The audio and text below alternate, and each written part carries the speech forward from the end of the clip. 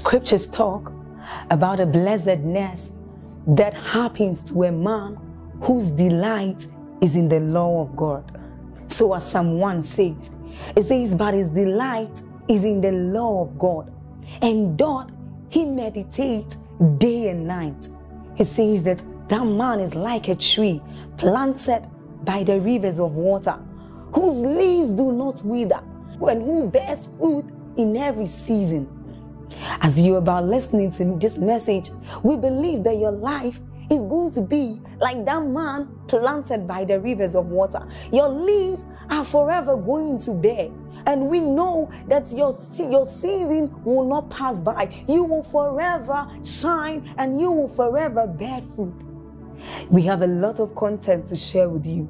So we would entreat you to subscribe to this channel as well as like us hit that notification bell to receive more updates from us because we know that whatever content here is going to set you on course at every time. It's going to make you attain whatever stature that Christ wants you to you attain. See, Thank you. When new converts or those who just get born again, if and when they are not discipled, eventually the gaps in their spiritual understanding and the fact that the flesh is so alive will make them easy praise for the devil to come into partnership with their unrenewed minds and cause a lot of trouble first in the body of Christ and then by extension in society.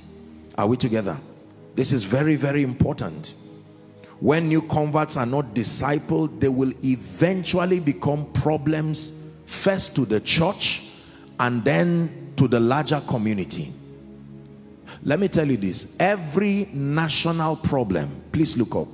Every national problem was first a regional problem that was not managed properly. Every regional problem was once upon a time a family problem that was not managed effectively. And every family problem was once an individual problem you see how nations are destroyed.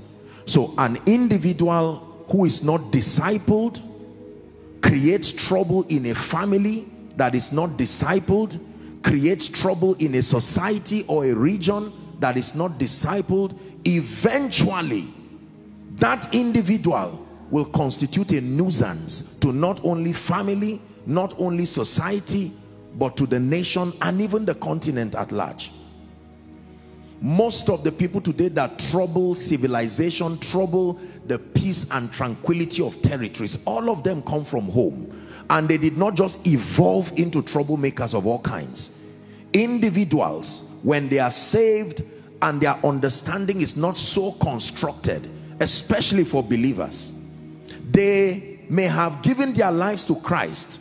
But we know that just giving your life to Christ this is entry into the kingdom Imagine with me, for instance, that a woman gives birth to a baby and throws the baby down. Most often than not, that child will most likely be a hooligan or will be a troublemaker eventually. Why? Because the opportunity to have proper parenting, upbringing is not there.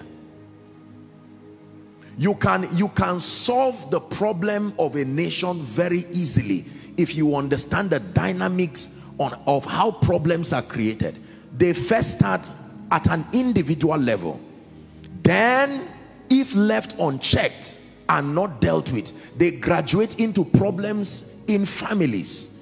Then from families when those individuals are now sent from those families they become troubles to society communities and to regions. And if left unchecked they will rise to become national people who multiply the same problem and these are the kinds of conditions that demon spirits look for. They look for individuals with no platform for discipleship. They look for families with no codes of conduct no modus operandi. Anything just happens. They look for territories that are lawless. They look for nations with no law. This is how people are destroyed. It is very easy to destroy a nation. It is very easy to destroy a family it is very easy to destroy a territory all you need to do is ignore discipleship at an individual level. Just let people do anything they want to do unchecked. For a while, it will look like they know what they are doing until you begin to see the damage to the family, to territory, to society, and to the nation. Are we together? So at the heart of transformation is discipleship. That is it. If we want to change this nation, we want to change Africa, we must obtain grace and wisdom from God to get back into the subject of methodical mentorship, discipleship. At least for a start, we can start with younger believers. This has been a mistake that most people have made, respectfully speaking, especially those in the mission field. We focus so much about soul winning missions and that is wonderful. But there is no system to manage these people when they are saved. At best we just tell them go to this church. And when they get to the church if the church does not have a structure a teaching priest to now begin to help those people they are in trouble. Because when those people sit there the flesh wants to find expression and because there is no system to keep dealing with it i tell you eventually you are going to see all shades of trouble. The headache that the man of God will go through because of people that are saved and they just pile them into the church no growth no development. And this is how you keep having all this trouble everywhere. Are we blessed this is not my sermon or oh, this is a burden let me just offload that one then we'll get to the sermon for tonight are we together Discipleship, therefore, is the foundation for true and lasting transformation in individuals, families, institutions, and nations. Let me repeat myself. Discipleship, therefore, by reason of the aforementioned, discipleship, therefore, is the foundation for true and lasting transformation in individuals, comma, families, institutions, and nations. We must restore the system of discipleship. My second thought. Are you ready for the second one?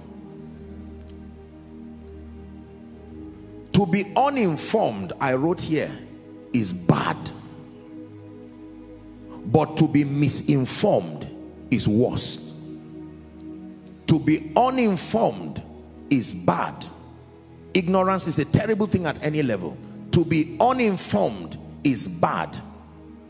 But to be misinformed is worst. Please write it and look up. This is very true. To be uninformed is very bad. Ignorance is terrible. It can cost you a lot, including your life.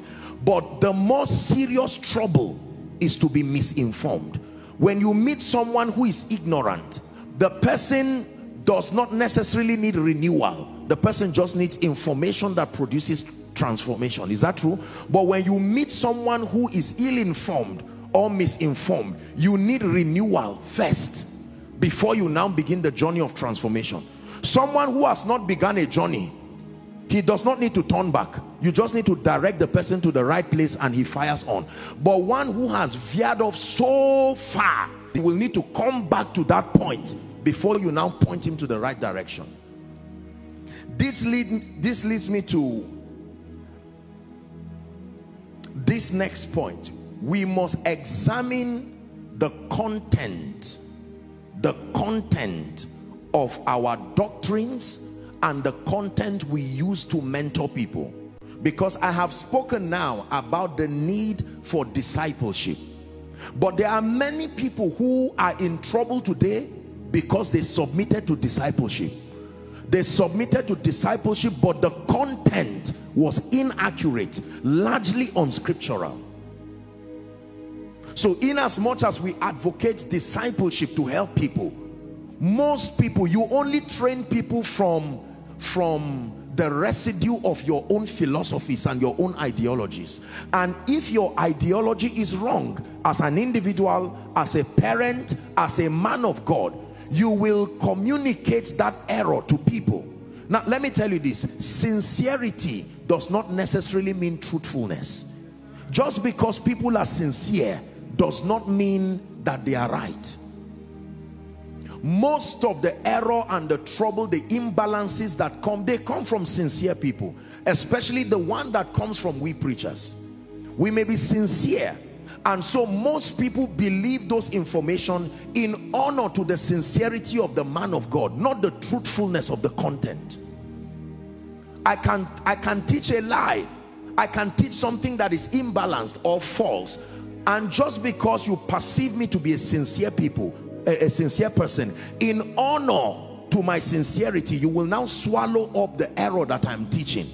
I may be sincere but it does not automatically mean that what I'm saying is right. More than sincerity we must obtain grace from God to seek truth. What delivers is not sincerity. He says ye shall know the truth and the truth shall make you free many sincere people are destroying the purposes of God. Many sincere people are destroying God's divine patterns and divine order. So in addition to sincerity which is commendable we must press for truth. The content of our mentorship must be scriptural it must be balanced it must be communicated with intention and intelligence to be able to raise and build a people of stature. Otherwise we'll keep having these shades of lopsidedness spiritual lopsidedness. So two burdens tonight. One is that at the back of every transformation national transformation regional family is the need for mentorship everybody here comes from a family. Many people here are parents. We can start by being intentional. Don't just allow people do what they want to do. Allow children do what they do. I know that we live in times where you know people just have their ideas. But you see this bible is our manual for a life of victory. Let god be true and all men liars. Hallelujah. Praise the lord i prepared a powerful sermon. I'm waiting for the day god will grant me grace to teach it. I look forward to teaching it in a men's meeting or teaching it. So let me give you a teaser. It's on inheritance. What exactly is an inheritance?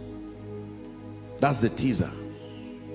Everybody will eventually hear it but there, there it was designed for fathers husbands leaders men so when the bible says a good man leaves an inheritance what does the bible say to leave because many of what we leave that we call inheritance is not inheritance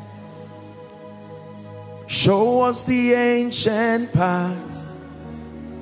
Will you lead us along eternal highway? We want to follow the ways of Jesus. We want to enter your rest. Show us the ancient path. Will you lead us along eternal highway. We want to follow the footsteps of Jesus. We want to enter. So, the moment you find out that you are ignorant in an area and you are searching for light, your first assignment is not a reception. Your first assignment is verification. What I'm about to open my heart to, is it truth indeed? It takes a lot of time to submit yourself to knowledge. It also takes a lot of time to undo the wrong that you have learned. My greatest prayer as a man of God is not just for signs and wonders and miracles and the prophetic. Is that I do not teach God's people a lie and cause nations and millions of people to believe a lie and then after 10 20 years I now realize is the truth then I change alone and leave the people to suffer Are we together?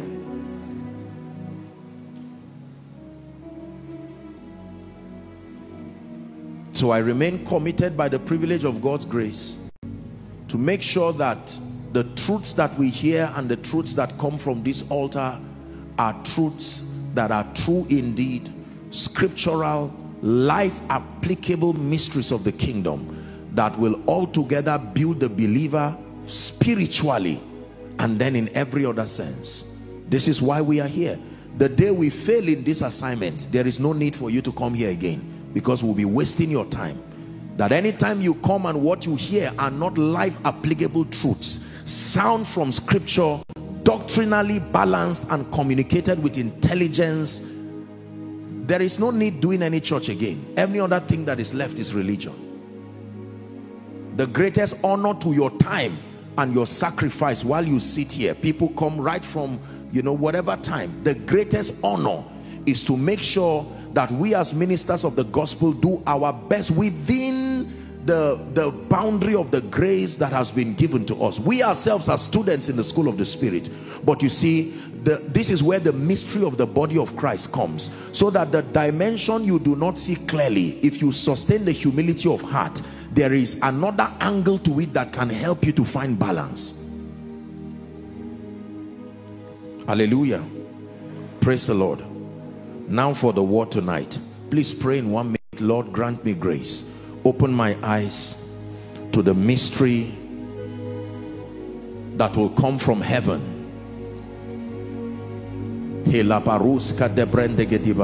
My life is about to change. In the name of Jesus my destiny is about to be transformed. Truth is coming to me.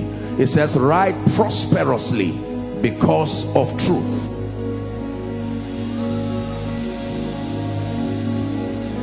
hallelujah. Tonight I bring you a mystery that will transform your life in no small way. I bring you a kingdom truth that has been responsible for the enviable rising and excelling of men in the kingdom. Remember the lord gave an instruction and for those of you who are just connecting today we're teaching truths that relates to the graces that are at work in this house to the end that we become partakers of this grace through light through knowledge. More than just impartation of anointing the knowledge that sponsors the coming and the staying and even the multiplication of those graces is what we've been dispensing. Are we together now? So impartation is almost useless when there is no knowledge base to receive that that power when you just lay hands on people or just transfer anointings it's like pouring water in a cup that has a hole or pouring water on the ground. It may not stay. Knowledge spiritual illumination becomes a container that receives that impartation. That way it will stay and it will not only stay it will multiply. Are we together? Praise the lord. This is one of the secrets that god taught me i have watched it in the life of great people. I have seen it in the bible. I have watched those who violated this principle pay for it. I have watched people who honor this principle rise and it is my prayer and my sincere desire tonight that God will find somebody in this place who will place value on this mystery and that you will rise in a way that will surprise you. In the name of Jesus Christ the lifting power of true humility. Write it down please. The lifting power of true humility. I want to share with you a very deep mystery tonight. Please pay attention. Don't allow anyone distract you. Our global family avoid any distraction and just settle down with jesus and let us learn the ways of the kingdom let's access the keys and the mysteries that are responsible for extraordinary supernatural growth supernatural increase in this kingdom. Hallelujah. The lifting power of true humility. The goal of this discussion tonight is to connect believers to and with the grace for lifting by exposing the danger of pride and revealing to you from scripture the character and the excellency of a life of true humility Praise the name of the Lord.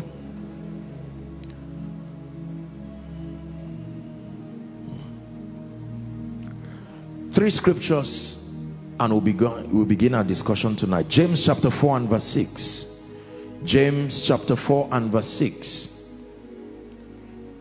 The Bible says, but he giveth more grace. Everyone say more grace. more grace. He giveth more grace. The first information here is that whatever God gives you, he can give you more of it that whatever God gives you is not the last level that he intends to give. Everything God gives is a seed that can be multiplied. Everything God gives, there is more of it. When God gives you wisdom, there can be more wisdom. When God gives you power, there can be more power. When God lifts you, there can be more lifting. So the first information, he giveth more. He giveth more. More membership, more revelation, more financial resources more wisdom more of his ability to keep you long. We call it longevity. Whatever comes from God that is given to you is not the last of it that he can give. He giveth more grace. He giveth more grace. This is a powerful information. That means anything that I need more of in my life the Bible gives me a consolation that I can find more of it. There is a possibility for having more of everything that you currently have. There is a possibility for transiting beyond the current realm that you now occupy spiritually, financially, physically, in leadership, in influence, etc. Are we together? He giveth more grace. Wherefore he saith, who is the he talking? The one who gives the more grace whatever the owner of anything is saying you pay attention to it if you really want it. So the giver of this more grace says god resisted the proud but he gives grace. So first information he gives more grace. Second information he tells you the candidate he gives that more grace to. Are we together now? He giveth more grace wherefore he saith god resisted the proud but he giveth more grace. In any case both the proud and the humble have something that comes from god to them. Are you seeing it now? Proud people have some they have something that comes to them from god. The bible says resistance. God can bring resistance to a man's life. And then the bible says for the humble he brings more grace. Second scripture philippians chapter 2 and verse 3 philippians 2 and verse 3 let me read very quickly. Let nothing be done it says through strife or vain glory. Very interesting expression. Let nothing be done through strife or vain glory but in lowliness of mind let each esteem other better than themselves. Let me repeat it one more time. Let nothing be done through strife or vainglory but in lowliness of mind let each esteem other better than themselves. Very self-explanatory very clear that nothing be done in strife or vainglory but in lowliness. It tells you that anything is truly profitable when it is done in lowliness of mind. Last scripture first peter chapter 5 and verse 6 the apostle is teaching now. First peter chapter 5 and verse 6 here's what he says. Humble yourself therefore under the mighty hand of god. Humble yourself therefore under the mighty hand of god. Why? That he may exalt you. Someone say exaltation. One more time say exaltation it says humble yourself therefore under the mighty hand of God that he may exalt you in due time.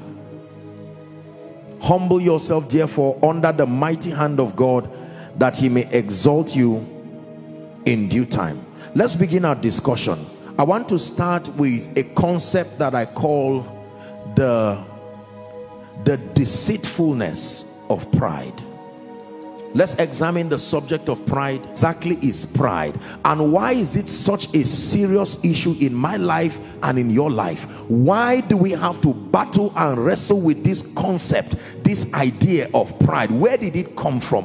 Why is pride you know negative habits but this pride thing it seems to have a bulldog strength that holds on to i like us to deal with the subject of pride spiritual dimension and then the second the psychological dimension. Because when it has to do with pride demon spirits come to fortify a belief system so that they cause you to remain in that state. You see there for that spirit to be fruitful in the life of its victim. As with the manifestation of all other spirits the Lord at all is condition dependent including the Holy Spirit. No spirit can veto into man and just begin to carry out activities of that spirit. Pride is one of them. If you're together say amen. Hallelujah. The bible talks about the idea of pride and how deadly and how dangerous it is. Phil talks about pride. It always connects it with destruction. It always connects it with folly. It always connects it with all kinds of things. There is no mention of pride and lifting together. There is no mention of pride and increase together. From genesis to revelation every time the bible mentions pride either directly in scripture or through the similitude of a story or in parable the ones who are victims of that pride if there is no repentance and there is no brokenness and conversion they will always end up worse than the story started with them. Pride a killer a destroyer of many destinies today. Many destinies have not only remained at that level but gone down shamefully so for many because of this danger of pride. Are we together? Now i want to just delve a bit into a concept of the human nature. Let's discuss a bit on psychology and then I'll get back to my teaching. This is very important. You cannot truly truly understand pride until you understand the human nature. Please pay attention. We're here to learn. The church of God is an institution of learning scriptural context but we borrow fields of study and intelligence to help give credence to what we're discussing. Are we together now? Many believers think that all it takes to being free from some of these things is just knowing that God delivers and God sets free. You have to understand pride from a psychological dimension. What, why do people fall victim of this thing that the Bible calls pride? You must understand the reality of the human nature. Please follow me very carefully as we open up ourselves to ourselves to understand what is the motivation behind the activities that we do. Hallelujah. I studied this years ago and it changed my life and i had the honor of looking through it again whilst preparing for this note. Now every human being the bible tells us that man is tripartite in expression man is a spirit the bible says and that spirit lives in a body and connecting that spirit and body is a faculty that we call the mind. Is that true? That the spirit in partnership with the mind is what you call a soul.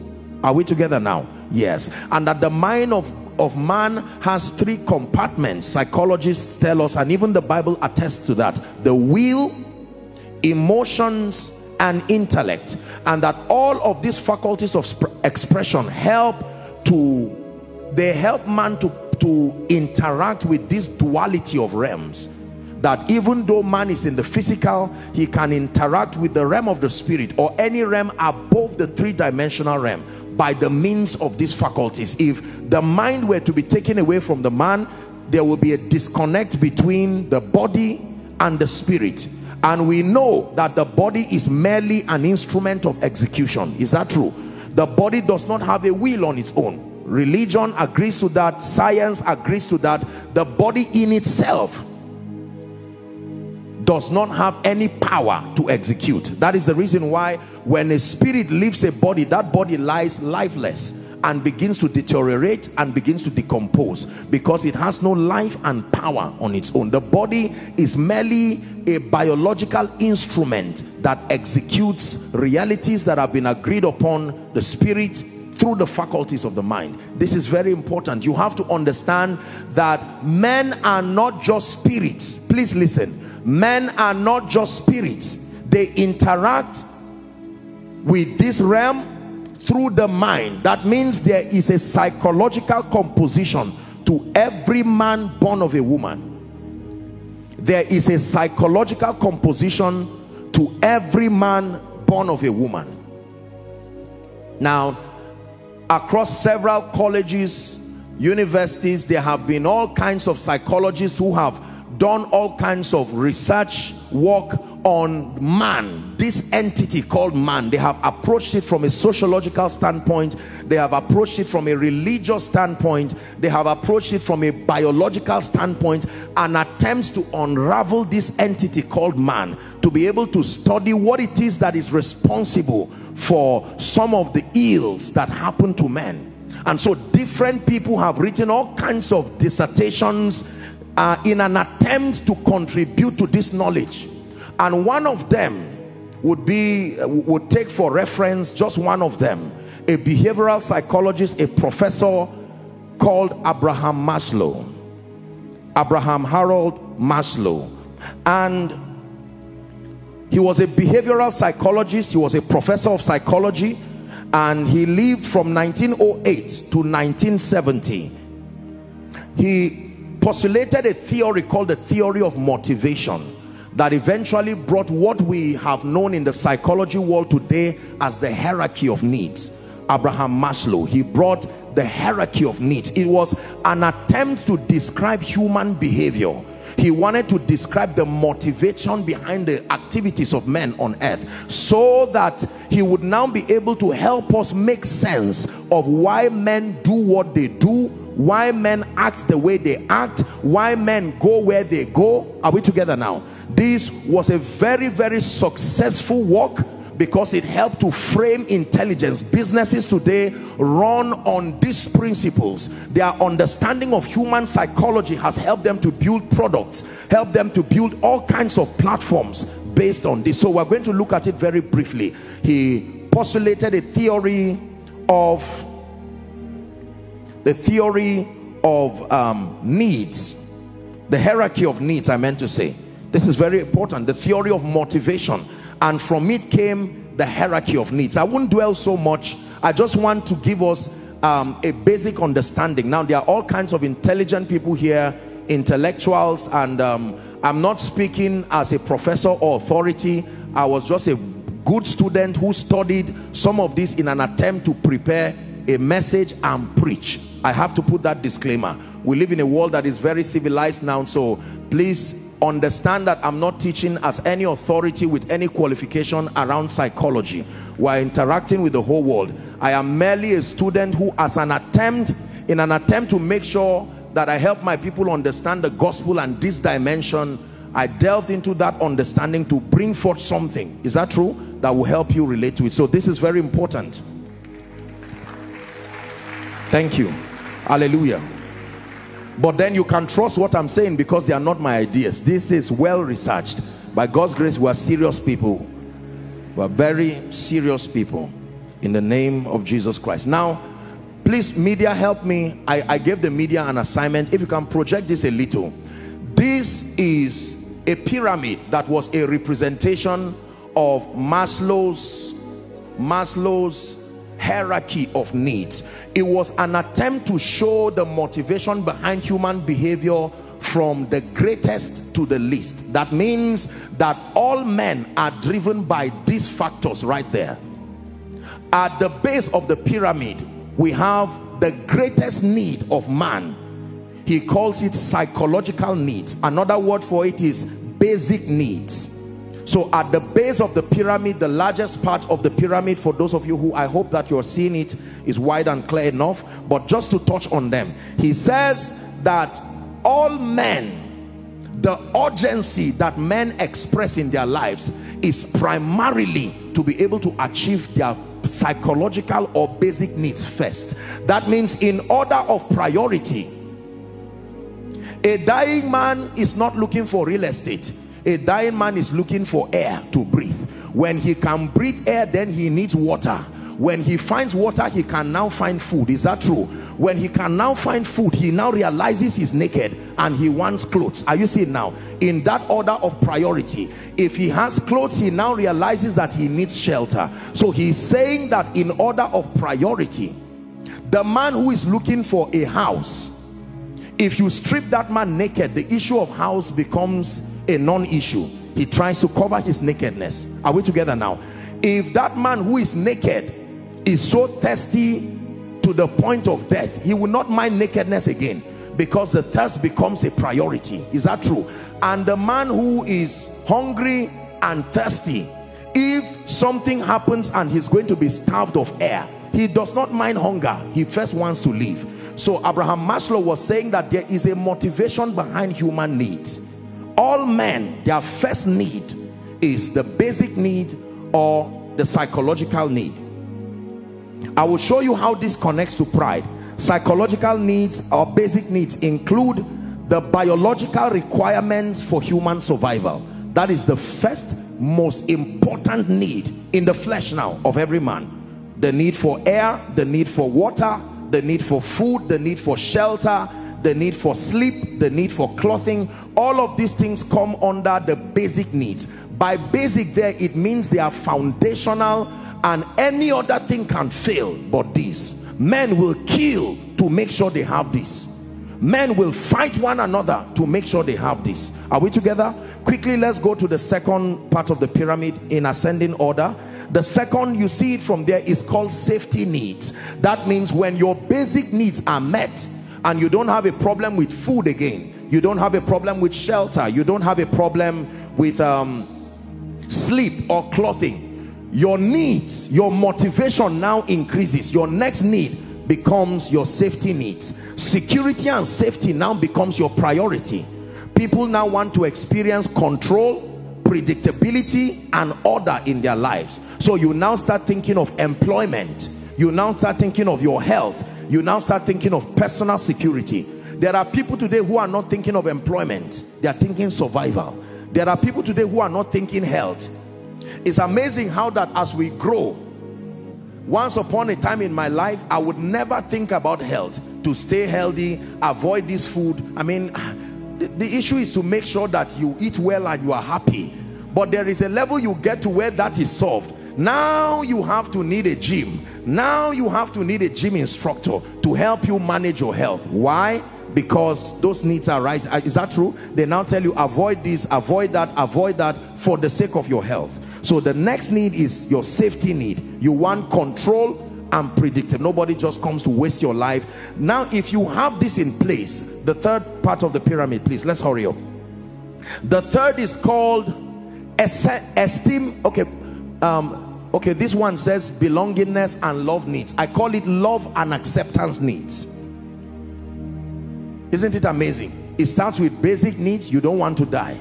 Once you've solved that then you now move to security needs. Once security needs are in place the next is now the need for love and acceptance. We call them social needs generally. The need to feel loved the need to feel accepted. So now you begin to pay attention to relationships friendships family and you now want to connect to groups all kinds of groups and clubs and societies. Because you want that sense of belonging you want that sense of acceptance. Notice the ascension that the basic and most desperate of your need is to eat sleep. Once that is solved the needs increase. The need for security and safety. Once that is solved the next need is the need for love and acceptance through relationships and all kinds of platforms. The moment that is solved then now please look up.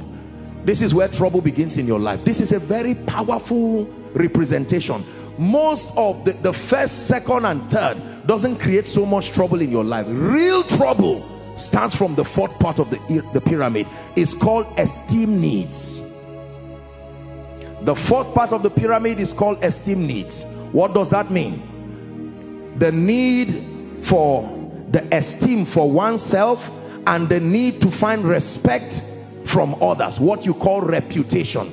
Reputation is a description of people's perception of you. At this point now you are not looking for your basic needs again. Your security needs have been met. Your social needs have also been met the next thing that is left is your ego and your reputation before yourself and before men. This is where trouble starts. You need to understand this so that as you are training people in leadership in your company in ministry understand that they are growing. A time will come if you do not know how to manage this you are going to be in trouble. Because a time will come the people you are raising will not need food again the people in your company the staff may have started as maybe even a security person somewhere opening and closing the gate. But eventually as they begin to rise you see that their needs and their priorities shift. Many parents do not understand the transitions in the behavior of their children now if you understand this you see the way your child behaves if he's receiving school fees from you it's not the same way your child behaves. Now if he's earning a scholarship of hundreds of thousands of naira or dollars you see that the priorities change. Maslow helped us to put this thing in perspective. Let's look very quickly. Esteem needs. At this point people begin to want independence and they begin to pay attention to achievement. What gives you fulfillment at this level is not eating well it's not driving a car. You want to achieve goals. And then you want a sense of independence. You do not want to be under the hold of anybody or anything. Are we still together? Shout amen. I assume your silence is that you are really understanding the thing and you are allowing it to absorb into your spirit esteem needs. At this point you begin to be sensitive to everything. Titles sensitive to recognition sensitive to who says what. Remember the five-year-old version of you before that time the 10-year-old version of you before that time has no peace there are people here today they are concern is simply to come and hear the gospel press into Christ. That it doesn't matter whether they are wearing an oversized cloth or not. It doesn't matter whether what they are wearing is torn or not because according to Maslow the need for survival they are at the basic level. Now let the word keep coming. The word keeps translating you. As you are getting results what happens? Eventually you will leave the first part of the pyramid. You will now rise to safety needs I'm tired of staying in a house with five or six or ten people. I think I need my own place now. Security and safety. Is that true? Yes. Esteem needs. The need for independence, the need for status, the need for prestige. This is why people join all kinds of clubs and societies. This is why people begin to come up with all kinds of things that help to concretize the, their relevance relevance and status and prestige and reputation are the keywords at this level. And then the fifth is called self-actualization needs. Self-actualization needs. The need for fulfillment and the need for legacy. For instance when you see someone who is at age 80 or 90 notice how everything reverses. At age 80 or 90 the gentleman does not care again or the man the old man does not care whether his hair is combed. He does not care whether he zips his trouser. He does not care whether the buttons are in place. He sits with you and says young man let me teach you something. 45 years ago this is what happened. And while you are looking at him it will be foolish of you as a young man to look at the person and say sorry the you're, you're putting this shoe is supposed to be this way. And he says so that is what your focus is on. Because at that level it is legacy. His pride is not what he does with himself or to himself again. His pride is the people that he's able to raise that become instruments of continuity. Notice how this transition happens in your life. If you flog your child male or female your teenage child especially in the presence of anyone that is a huge embarrassment. You would have taught something. But you see an adult who fall down on the road and stand up and dust himself like nothing happened because he's looking for a job. He has three children and he needs to sort things out. That shame that he used to have as a little boy has gone because of other needs and other serious priorities. Abraham Maslow final recap and we'll get back to the teaching arranged in order of priority ascending order psychological or basic needs and then safety needs love and acceptance needs esteem needs self-actualization needs. Praise the name of the lord. Now please write this down. Thank you. Write this down. I appreciate thank you thank you. Let's get to work. Thank you. Praise the name of the lord. Hallelujah thank you. I appreciate you. Now write this down. The highest psychological need we teach this in our school of ministry. The highest psychological need of all men please write it and tie it in the name of jesus. May you never forget this is the golden rule that governs us the highest psychological need of all men is the need to be loved accepted celebrated and appreciated. Please write it down. The highest psychological need of all men beloved the need to be accepted the need to be celebrated and the need to be appreciated. Hallelujah. Praise the name of the lord. Are we together now? Now listen to me sir everyone let her come. I don't know her but please come.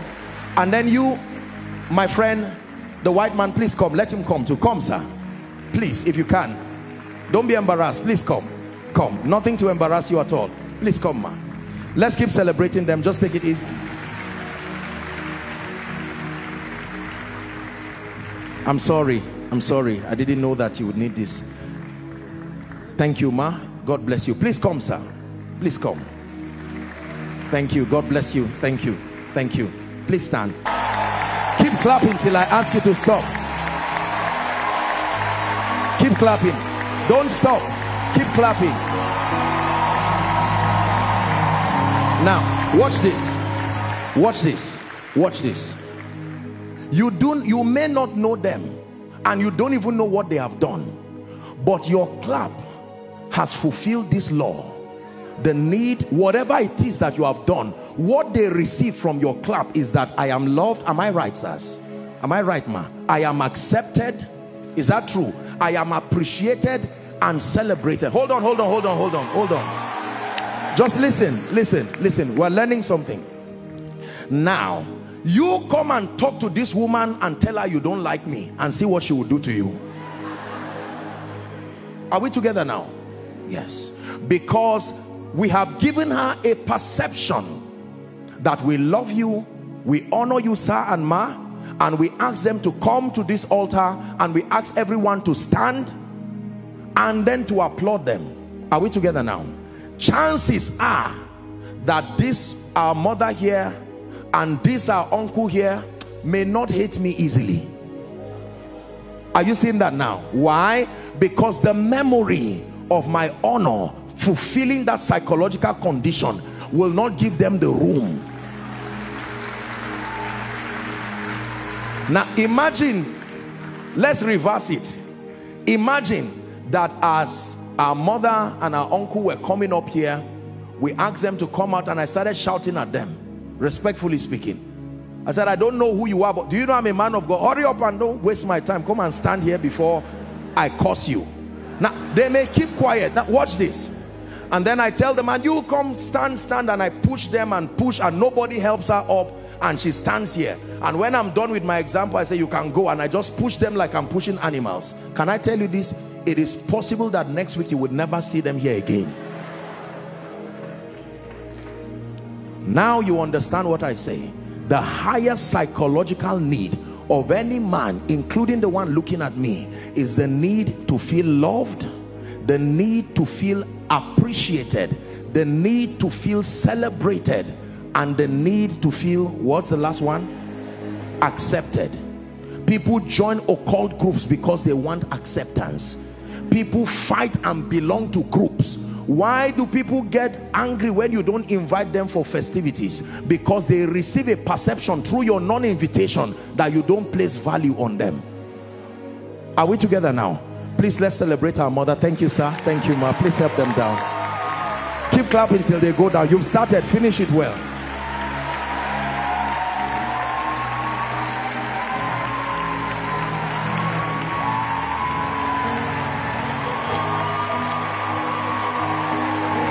Thank you. Thank you. Thank you. God bless you. Thank you. Are we together? Koinonia, please sit down. Let's continue now. The psychological build-up of men.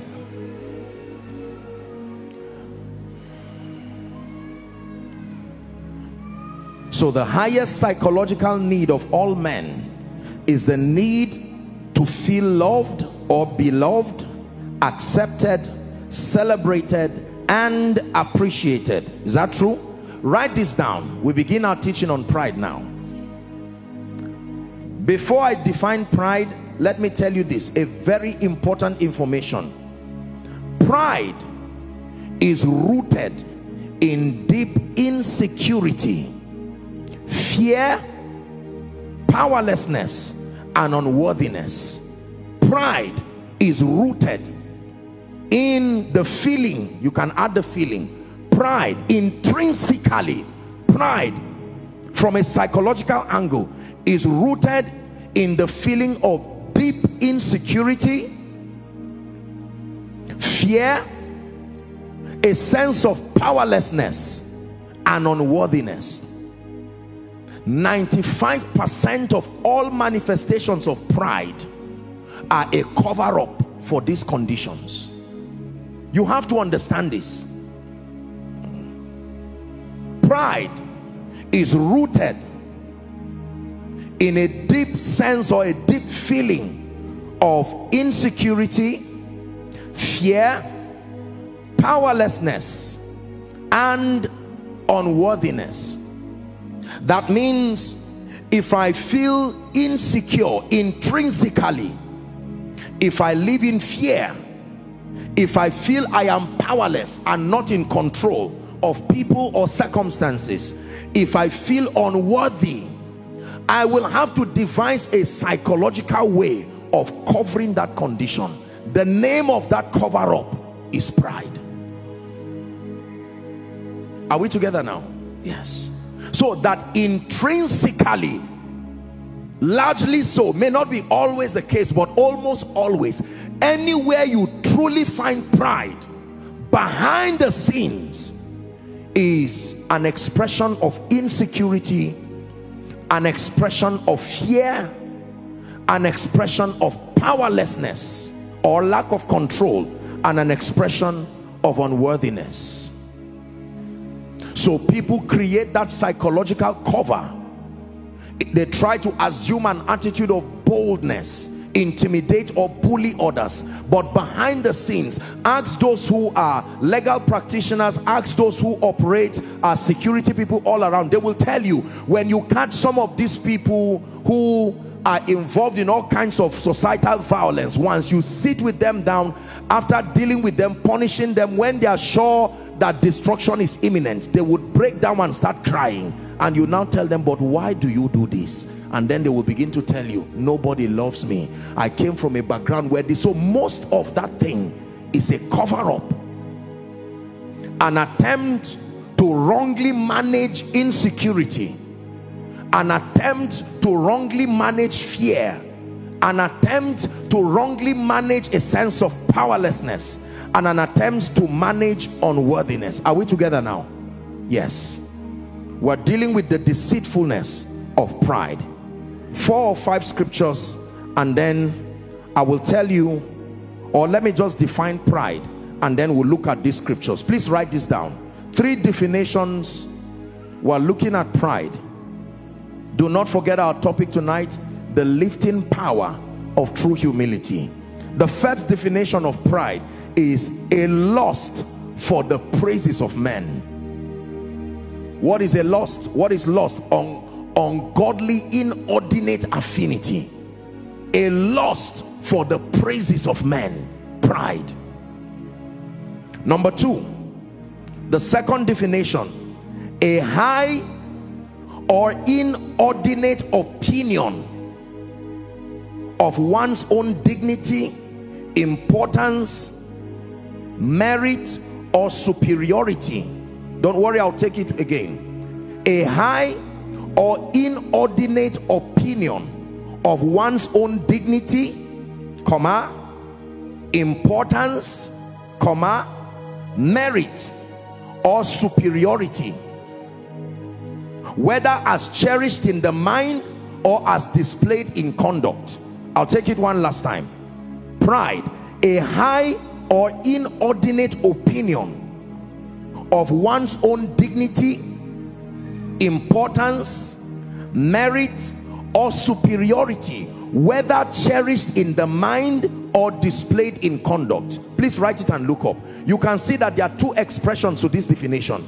On one hand it can be a perception that is cherished in the mind. It never finds physical visibility. And then the second you can it can be vocally expressed in conduct. When pride is expressed we call it boastfulness. But just because whether pride is expressed or not pride is pride. Are we together? So a high or inordinate opinion of one's own dignity importance merit or superiority whether as cherished in the mind or displayed in conduct. Let me give you my own definition now. The third definition. What is pride? A feeling of being better than others on the strength of one's perception or obvious achievements. A feeling of being better than others on the strength of one's perception. That means just something that is worked up in your mind or in the presence of obvious achievements. A feeling that you are better than others on the strength of your obvious achievement or just something that exists in the realm of your mind. So pride the lust for the praises of men. Number two inordinate opinion of oneself. Number three the feeling of being better than others. The following scriptures. Number one Proverbs chapter 18 and verse 12 very instructive scriptures. Please let's pay attention. The Lord is teaching us. Can we read together as a family of faith? If you can see it projected we read one two three. Before destruction the heart of man is haughty. That's another word for pride. And before honor is humility. Wow. That means every time you see pride pride is only a John the Baptist to something that is coming. That before pride before destruction the heart of man is haughty. Is that true? And it says before honor is humility. Very powerful scripture. That anytime you see pride it did not come alone. There is something it is dragging with it. And what it is dragging is destruction. So the end of all who are and remain in pride is destruction. Scripture number two proverbs chapter 16 verse 18 proverbs chapter 16 and verse 18 the bible again here says pride goes before destruction and a haughty spirit before a fall can you see that now? In the mouth of two or three witnesses the bible says a matter is established. So pride goes before destruction. It means that when satan wants to destroy a man wants to destroy a people the first thing that happens is that he introduces pride to their lives. And in that state of pride destruction is beginning to form over their lives and their destinies. The third scripture proverbs 29 and verse 23 Proverbs 29 and verse 23. i like us to read together if you do not mind. Ready? Please read. A man's pride shall bring him low, but honor shall uphold the humble in spirit one more time please a man's pride shall bring him low but honor shall uphold the humble in spirit. This is very powerful. Many people today i tell you the truth have destroyed enviable destinies because of this danger and this demon and this cancer of pride. It has brought down kings.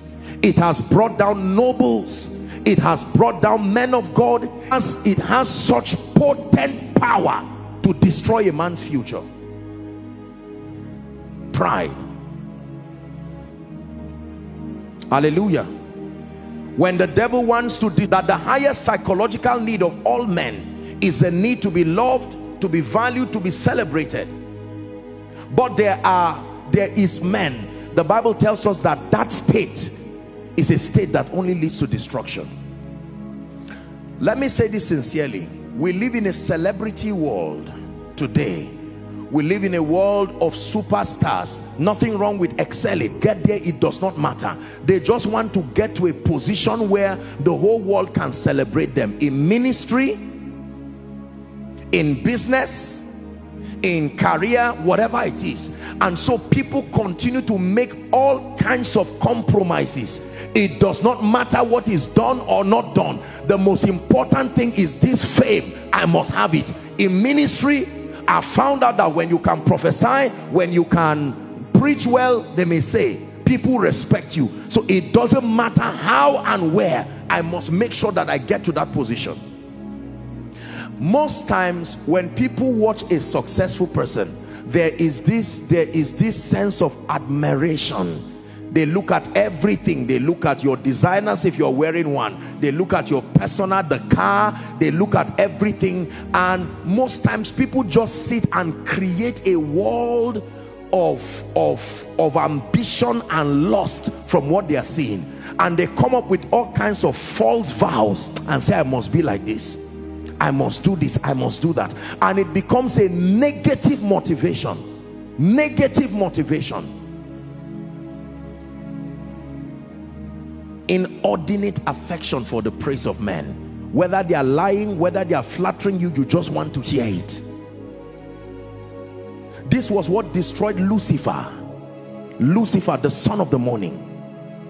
We're going to look at examples of pride from scripture but this is what destroyed that once cherub that covereth. When the Lord began to teach me about pride every day till today until tomorrow can I tell you this? Let me challenge you. There are issues that when we are discussing you can easily say ah no no no no no no no. When you talk of character and moral excellence you can say oh no that's that's me or that that does not concern me. When we talk of witchcraft and manipulation oh that does not concern me. When we talk about money and other things oh that does not concern me. But the subject of pride and humility there is nobody this these are the kind of teachings that there is no tell them. Is the kind of teaching that when they are done from the preacher himself to everybody you cry and roll before God and say Lord help me.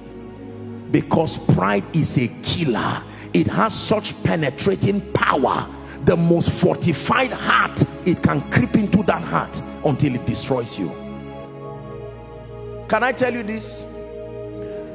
For the sake of this lecture tonight I separated my angles of discussing pride in two. Number one spiritual pride.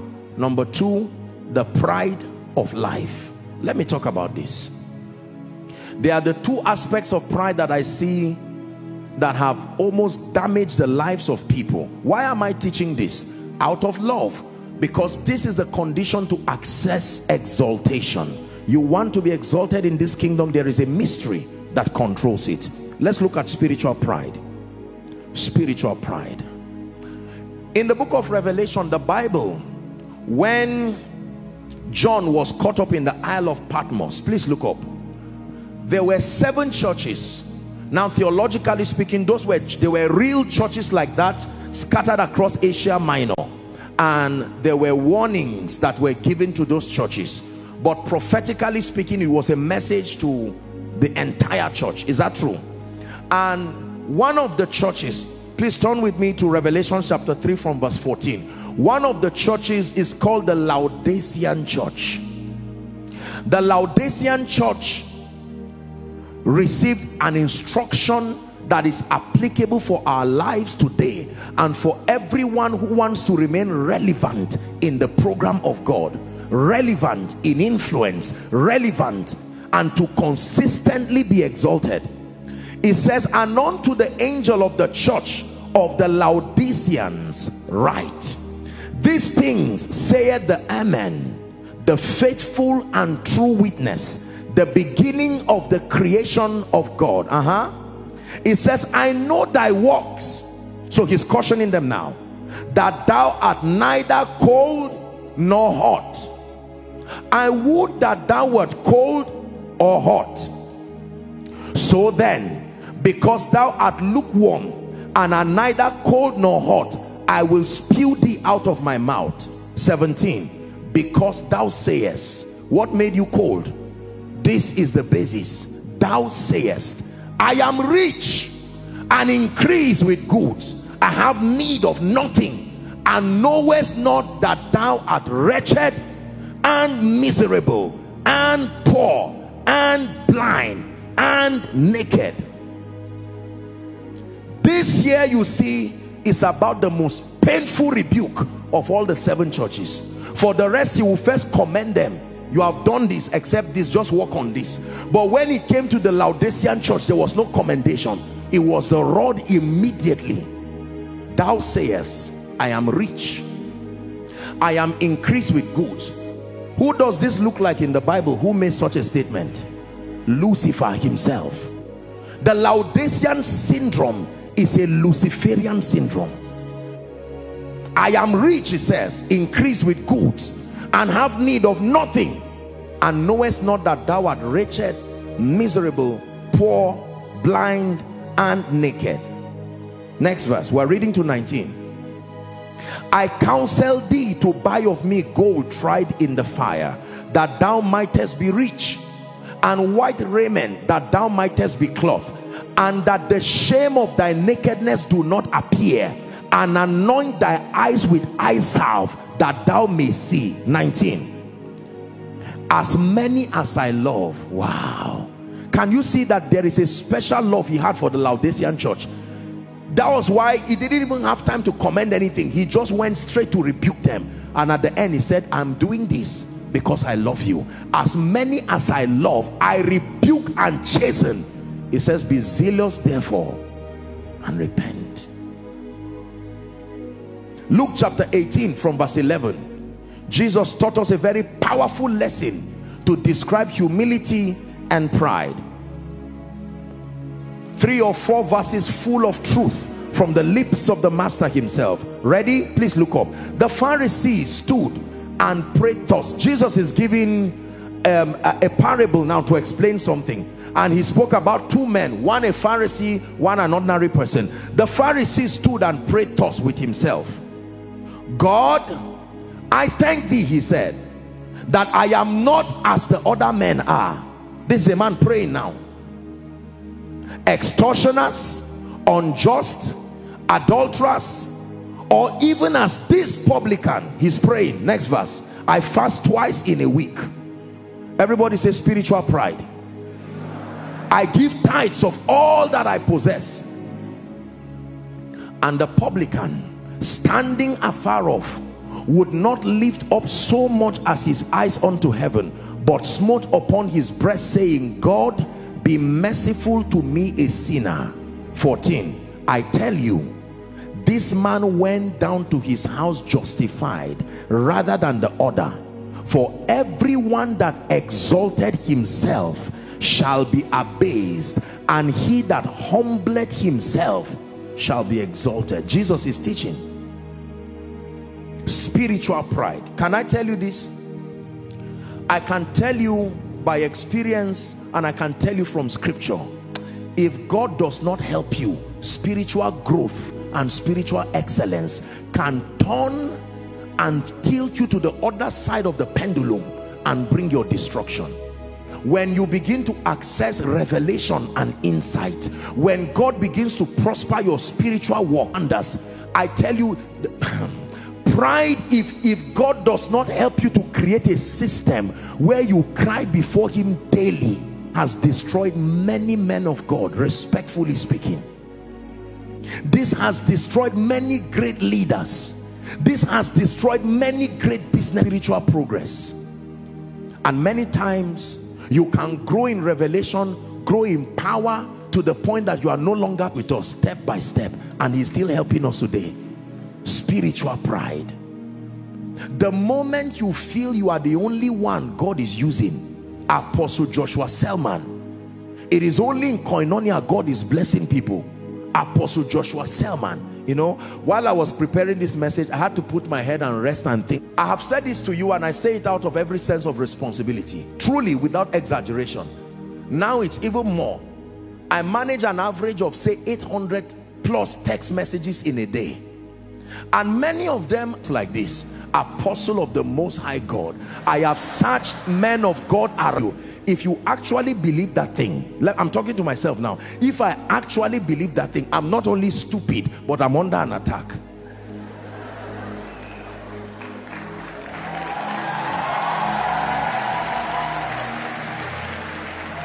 As as funny and childish as what I'm saying is there are some of you who will believe it absolutely and go out of your way to create systems that reinforce those kinds of things. Many of us have gathered sycophants in our lives today because they have mastered us that this is what we want to hear. Even if you are entering the pit you want people who gather around you. Once they can massage your ego they have access to your life access to your inner circle until you they destroy you and they will turn back and show people that this is where he died listen to me. You've heard me say this. You know you are being transformed by the Holy Ghost when there is humility connected to your growth. The moment you begin to trade humility for revelation you are in trouble. Now this I say this with every sense of love and respect. This is one of the greatest fear for my generation of ministers.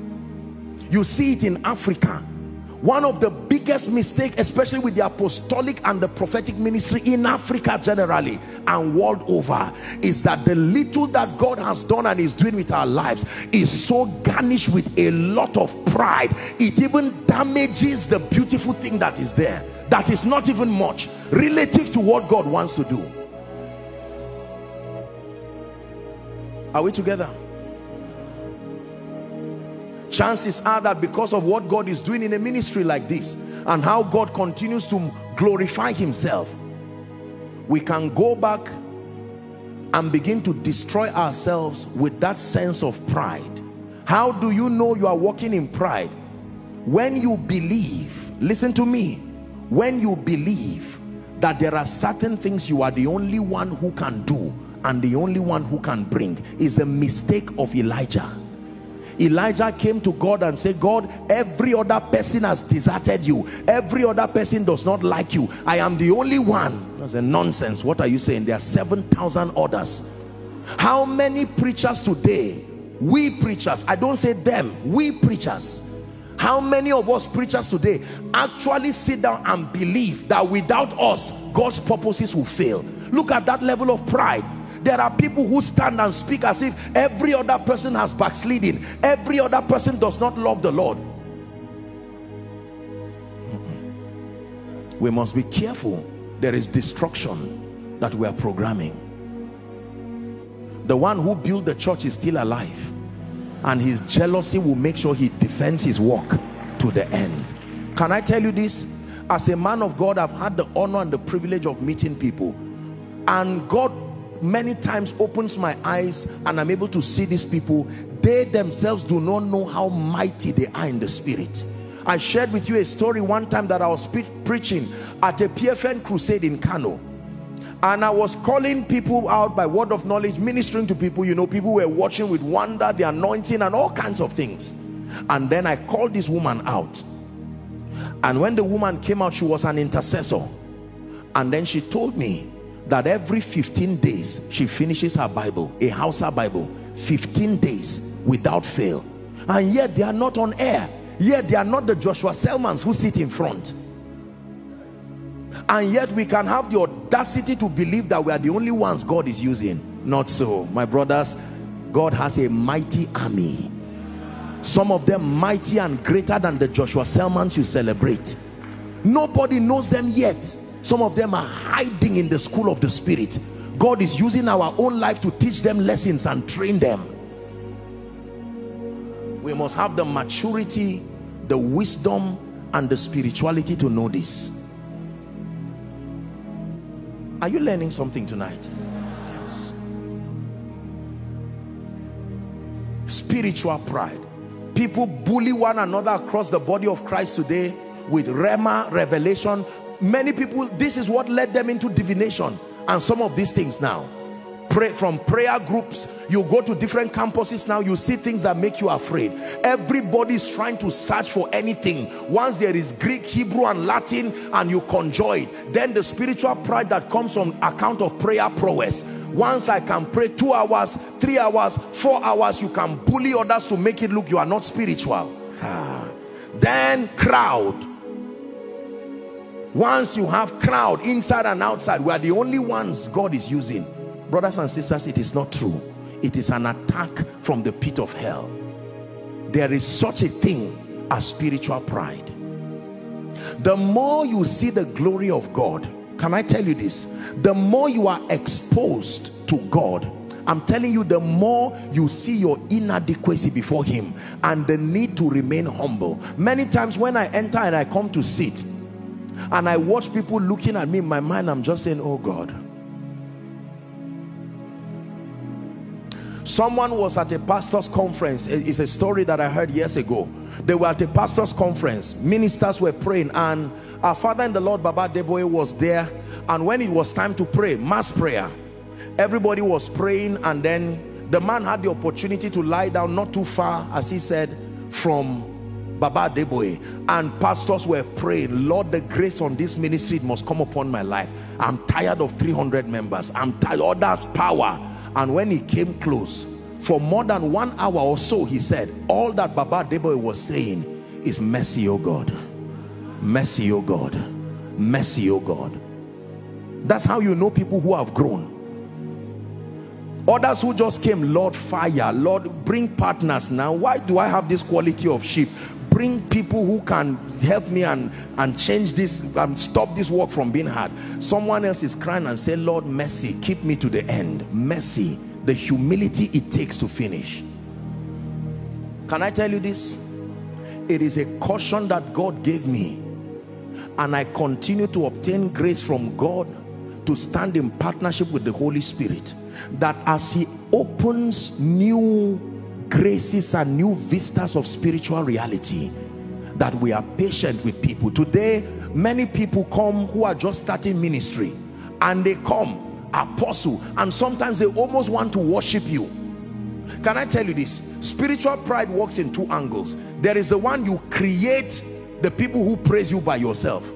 You praise yourself. But there, there are others you will not create it but when you see it you will sap that. You will enjoy it like squeezing an orange until there is nothing it's still pride. There are times that you have to go out of your way to thank them and say thank you for this but please be careful. There are things people want to do in my life today. If i'm to allow people do everything they want to do in my life it will almost become another religion. People will now almost worship joshua selman may i not live to see that day oh? In the name of Jesus Christ.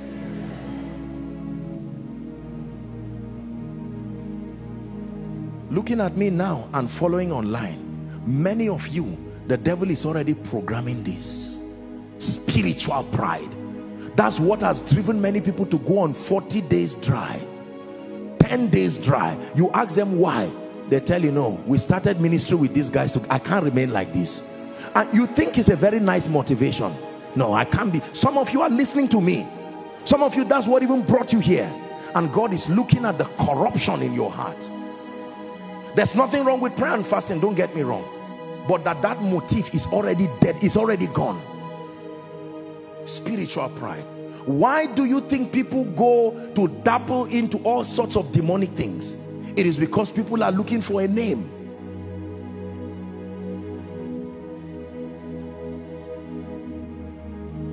Spiritual pride. Hello. Scriptures exhort us from the book of Proverbs. It says, My son, attend to my sayings, incline thy ears to my words. Let them not depart from thy eyes, and keep them in the midst of thee. As you have listened to this message, we believe that you are going to reap the blessings thereof if you attend to these words as well. That you will keep these words in the midst of your heart. That no matter the circumstance, your eyes are going to be fixed on these words. And as you have been blessed, we will tell you to share this message. Be an evangelist by sharing to others to be blessed. And then subscribe to this channel for us because we have loads of videos, we have loads of content that is going to make you blessed, that is going to set you on course, that is going to set you ablaze. And don't forget to like for us. Thank you.